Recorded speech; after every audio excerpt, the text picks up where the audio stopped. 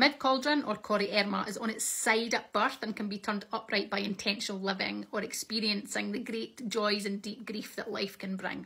This cauldron is related to emotional intelligence and grounded everyday wisdom, so a person in whom this cauldron is upright feels very safe and nurturing to be around. Here are some of the issues that you might experience if you have an untended cauldron of motion. Boundary issues, being enslaved by your empathic abilities, finding fault and blaming others, difficulty in facing your own shortcomings or shadow, being scared of your successful, confident self, getting overly involved in the lives of others, and or allowing others to overstep in your life, being trapped oh, in old stories and negative ancestral patterns. Facing these types of issues ultimately allows a person to become connected to the fullness of life and to fill and right their mid cauldron. Let me know if you do any mid cauldron work already in your life, I'd be fascinated to hear.